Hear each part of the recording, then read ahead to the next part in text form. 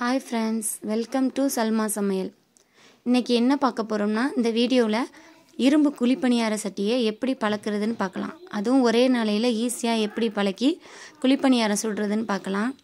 வாங்க வீடியோக்குள்ளே போகலாம். வீடியோவை ஸ்கிப் பண்ணாமல் எண்டு வரையும் பாருங்கள் அப்போ தான் நான் இது என்னென்ன டிப்ஸு சொல்கிறேனோ அதை ஃபாலோ பண்ண கரெக்டாக இருக்கும்.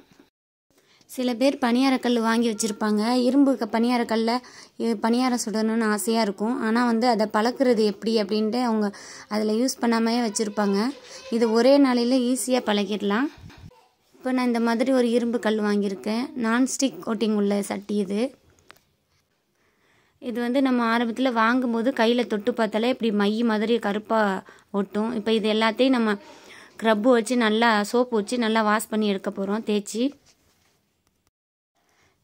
இப்போது நல்லா அந்த கருப்புலாம் போகிற வரையும் மையாக இருக்குல்ல அந்த மையெல்லாம் போகிற வரையும் தேய்ச்சாச்சு. இப்போ வாஷ் பண்ணி காட்டுறேன் பாருங்கள் இப்போ இதை க்ளீன் பண்ணி எடுத்துட்டேன். இப்போ பாதி அளவுக்கு க்ளீன் ஆயிடுச்சு இப்போது ஃபஸ்ட்டு ஸ்டெப்பு நம்ம இப்போ வந்து சாதம் வடிக்கும்போது அந்த தண்ணியை எடுத்து தனியாக எடுத்து வச்சுக்கோங்க. இப்போ இந்த சாதம் வடித்த தண்ணியை பனியாரக்கல்லில் ஊற்றிக்கோங்க ஃபுல்லாக மூழ்கிற அளவுக்கு ஃபுல்லாக ஊற்றணும் இப்போ ஊற்றியாச்சு இதை ஓவர் நைட் அப்படியே விட்டுருங்க. மறுநாள் நைட்டு தான் நம்ம பார்க்கணும். இப்போ மறுநாள் ஆயிடுச்சு பாருங்கள் ஓரங்கள்லாம் அப்படியே துருப்பிடிச்சு வந்திருக்கு. நான் முதல் நாள் நைட்டு ஊற்றுனேன் மறுநாள் நைட்டு எடுத்து பார்க்குறேன். இப்போ அந்த தண்ணியை ஊற்றிட்டு திரும்பவும் வாஷ் பண்ணி எடுத்துக்கோங்க. இப்போ ரெண்டாவது ஸ்டெப்பு இப்போ எந்த மையும் வரலை. அது எல்லாமே ஃபுல்லாக க்ளீன் ஆயிடுச்சு. இப்போ ஒரு நாள் ஃபுல்லாக அரிசி தண்ணியிலே ஊறுனுச்சுல அதனால் நமக்கு வந்து ஈஸியாக பணியாரம் சுட்டால் எடுக்க வரும். இது வந்து ரெண்டாவது ஸ்டெப்பு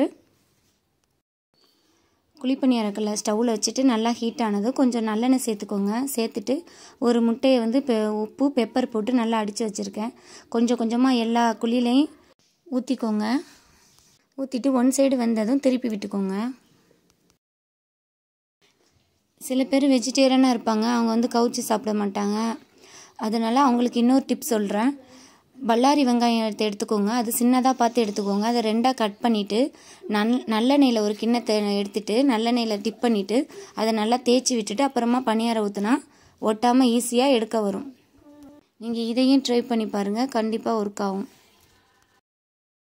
இப்போ முட்டை நல்லா ஃப்ரை ஆயிடுச்சு எடுத்துக்கலாம். இதே மெத்தடே நீங்கள் தோசைக்கல் வாங்கினாலும் சரி ஆப்போசிட்டி வாங்கினாலும் இதே நீங்கள் ஃபாலோ பண்ணி பாருங்கள் கண்டிப்பாக ஒர்க் அவுட் ஆகும்.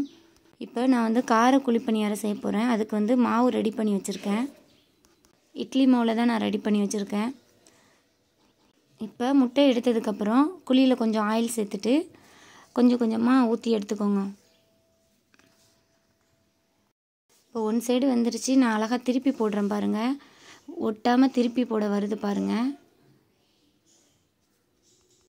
சில பேர் இரும்பு குழிப்பணியார சட்டி வீட்டில் இருந்தால் கூட அதை வந்து ஒரு ஓரமாக ஓரங்கட்டி வச்சுருவாங்க. யூஸ் பண்ண மாட்டாங்க. ஏன்னா ஒட்டிக்கிட்டு வராது அப்படிங்கு ஓரங்கட்டி வச்சுருவாங்க. நான்ஸ்டிக் சட்டியில் அவ்வளோக்கா நம்ம ஹெல்த்தியே இல்லை. அதனால இரும்பு குழிப்பணியார சட்டியில் நல்லா ஹெல்த்தி நம்ம உடம்புக்கும் டேஸ்ட்டாகவும் இருக்கும். இப்போ குழிப்பணியாரத்தையெல்லாம் எடுத்தாச்சு. ஈஸியாக வந்துருச்சு. இந்த வீடியோ பிடிச்சிருக்குன்னு நம்புகிறேன் இதே மாதிரி கண்டிப்பாக உங்கள் வீட்டில் ட்ரை பண்ணுங்கள் ட்ரை பண்ணி பாருங்கள் நல்லா வரும். இந்த வீடியோ பிடிச்சிருந்தால் லைக் பண்ணிடுங்க உங்கள் ஃப்ரெண்ட்ஸ் கூட ஷேர் பண்ணிவிட்டு மறக்காமல் என்னோடய சேனலை சப்ஸ்கிரைப் பண்ணிடுங்க தேங்க்யூ ஃபார் வாட்சிங்